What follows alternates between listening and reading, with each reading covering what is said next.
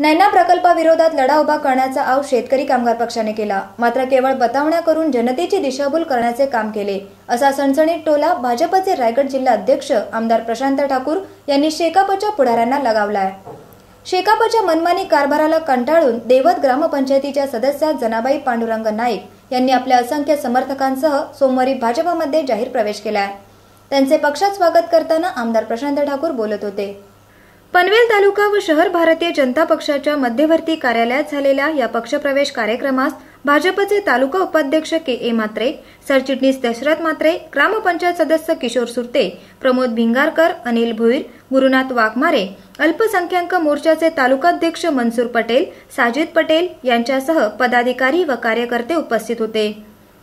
आपण सर्वसामान्यांचे कसे कैवारी आहोत असा खोटा आणणाऱ्या शेकापच्या नेत्यांना येणाऱ्या निवडणुकीत त्यांची जागा या परिसरातील नागरिक दाखवून देतील असा विश्वास यावेळी आमदार प्रशांत ठाकूर यांनी व्यक्त केला.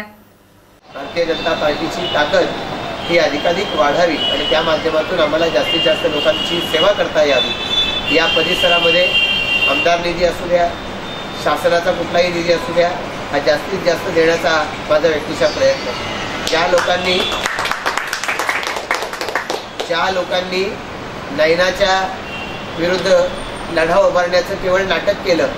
आणि हे नाटक करत त्या माध्यमातून स्वतःची अधिकाऱ्यांची जवळीक साधायची. आणि मग आपल्या बिल्डर सहकाऱ्यांना सोबत घेऊन त्यांचे प्लॅन पास करण्याच्यासाठी दबाव आणायचा. अशा पद्धतीचं तंत्र ज्यांनी वापरलं त्यांनी अशाच पद्धतीचं तंत्र एअरपोर्टच्या एअरपोर्टच्या संदर्भामध्ये देखील वापरलं. पण एअरपोर्ट ज्या परिसरात येतो त्या गावातल्या लोकांनीच त्यांना लाथाडलं.